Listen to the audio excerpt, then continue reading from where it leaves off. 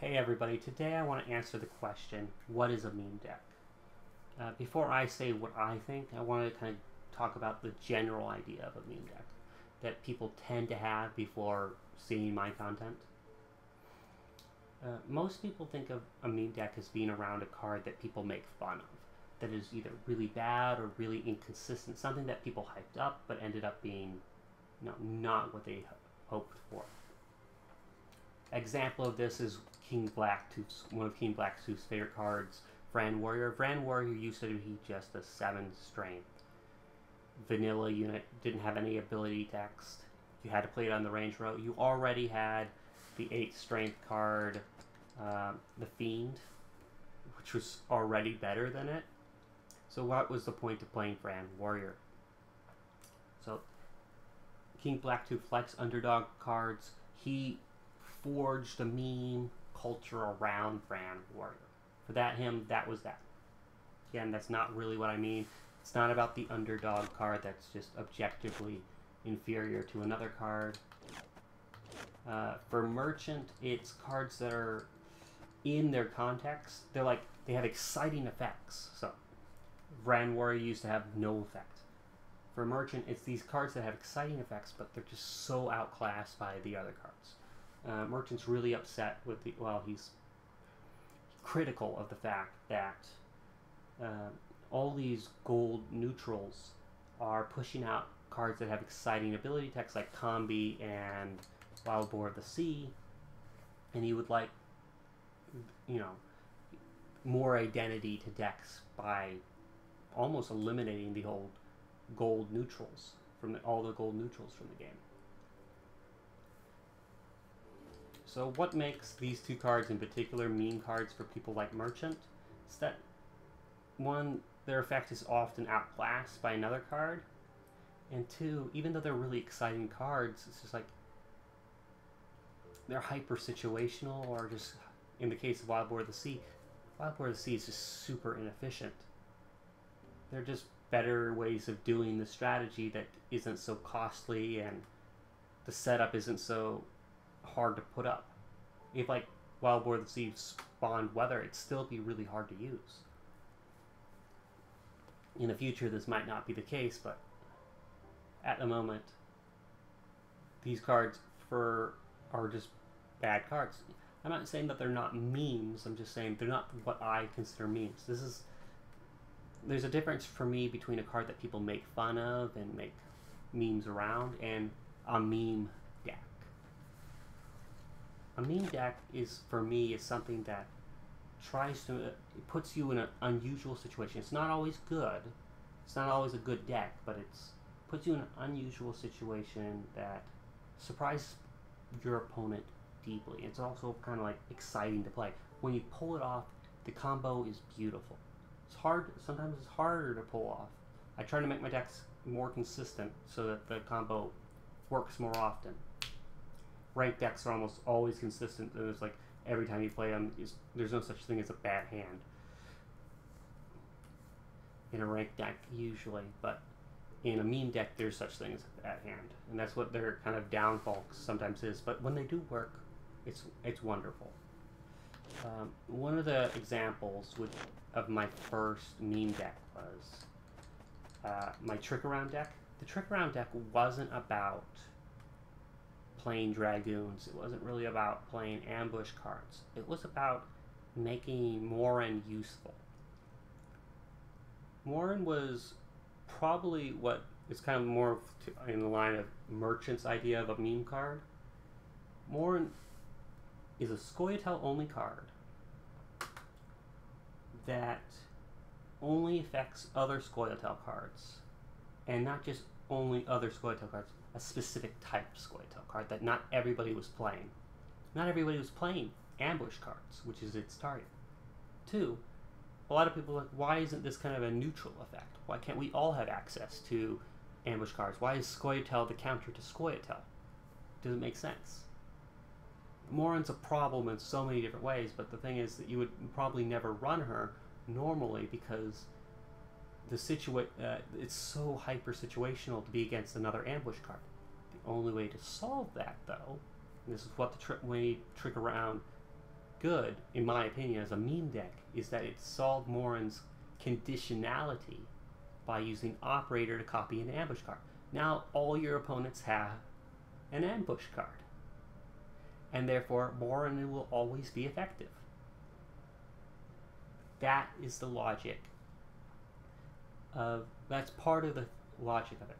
The second thing is once you throw that card into their hand, let's say you throw Ciaran into their hand, most people don't know how to play Ciaran. A lot of new players don't know how to do this because this is a card that none of them are like it doesn't it doesn't hit them on their radar.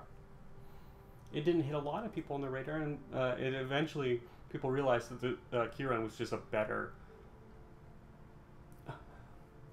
was a better uh, Ciri in many ways because it was a silver that did the same thing. It got you card advantage. Um, so you give your opponent a card they don't really understand. The text of Ciaran is extremely confusing.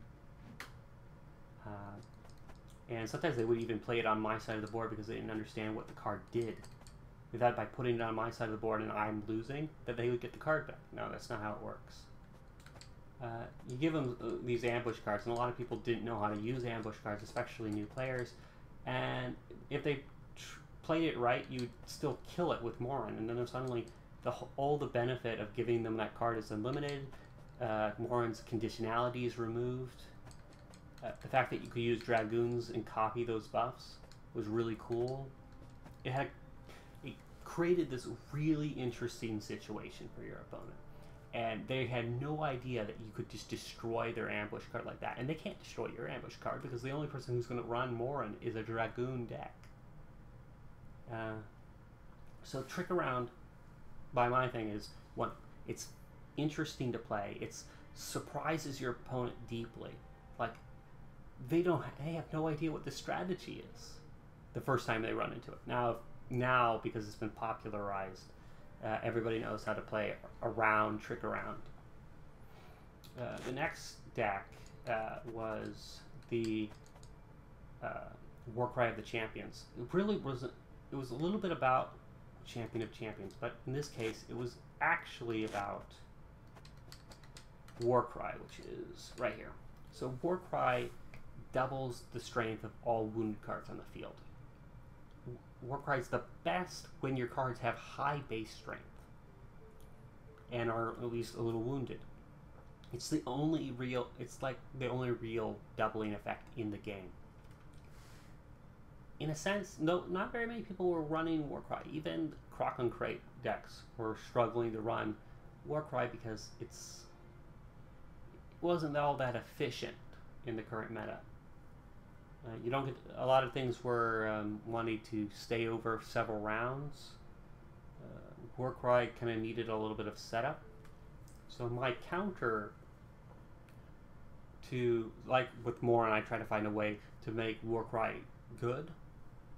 Um, my answer to how to make Warcry, you know, acceptable or at least interesting was to use Champion of Champions. Champion of Champions was capable of getting that high base strength that makes the doubling effect of um, Warcry interesting or like you know cool to use.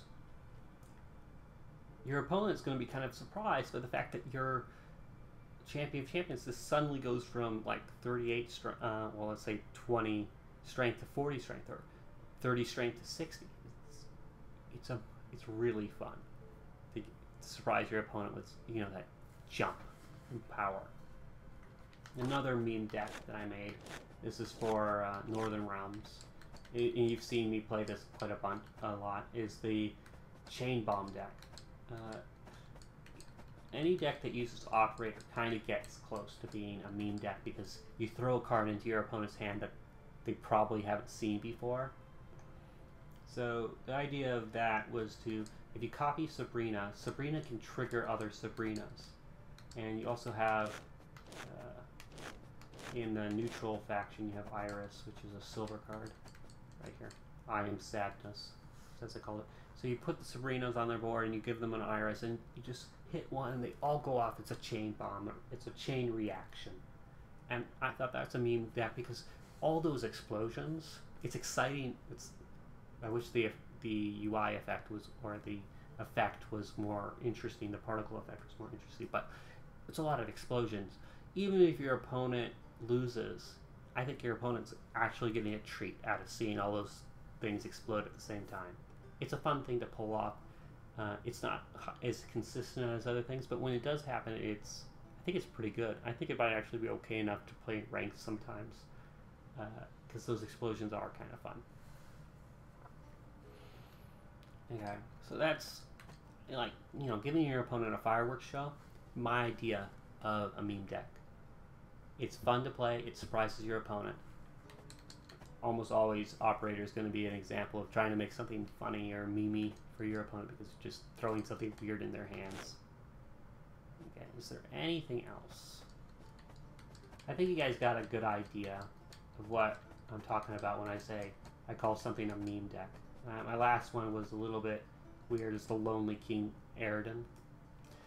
What kind of makes that memey is that you're using Epidemic. That's really what the deck is surprising. You're killing these large things. I kill a Villentretenmerth with an Epidemic. That's kind of hilarious. Because um, in most situations, the problem with Epidemic is going to kill your own cards. So by putting uh, by playing Aroden and just having Aroden being higher strength than most cards, you just use Epidemic to clear your opponent's board. End of story. You got it. Epidemic becomes strong the higher strength the card cards you have on the board. You could probably do the same thing with uh, Nilfgaard if you wanted. But the problem is, is that Nilfgaard has Rot Tosser and you'll never play... It'd be hard to play Epidemic with a Rot Tosser deck. So I hope you guys enjoyed this video. It was informative to, you know, the way I think when I make a meme deck.